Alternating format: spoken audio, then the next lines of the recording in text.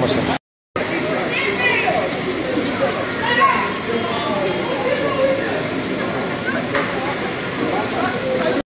الحمد لله. أما رانا فاش تفرقعات قدامنا. كنا واقفين تما. الجوج دار باق والناس غاديين في الشارع.